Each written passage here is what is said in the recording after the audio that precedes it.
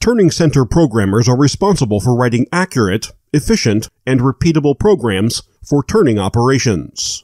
The programmer must follow a checklist to avoid mistakes that could lead to accidents, collisions, and damage to tools or workpieces.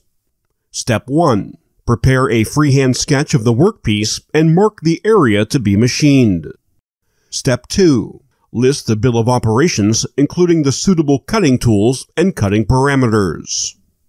Step 3.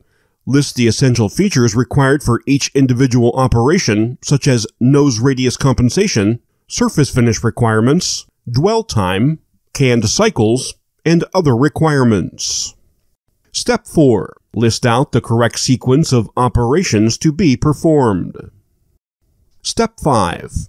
Prepare a freehand sketch of the toolpath for the operation, including listing the coordinates for the toolpath of each individual cut. Step 6. Write the program for the turning operation.